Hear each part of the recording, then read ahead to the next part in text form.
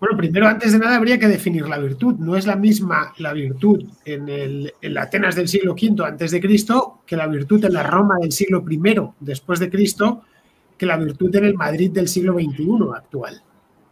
En griego es arete.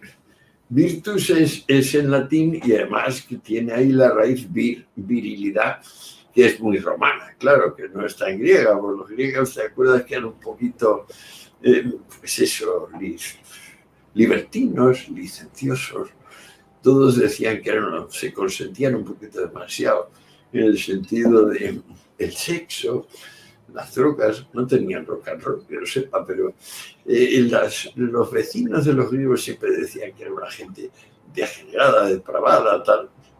De eso se les ha acusado mucho tiempo.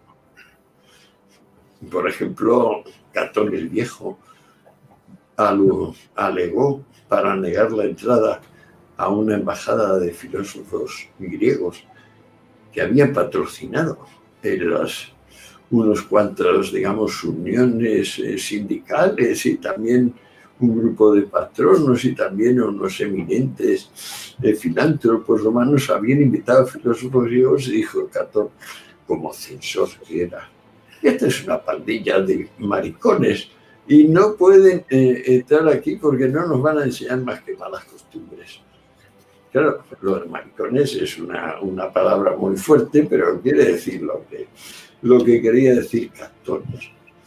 Pero sí, bueno, si lo miras un poco más por debajo, Cantón lo que tiene miedo es de que los griegos son increíblemente ingeniosos, increíblemente atractivos, capaces de seducir a hombres, mujeres y lo que fuere.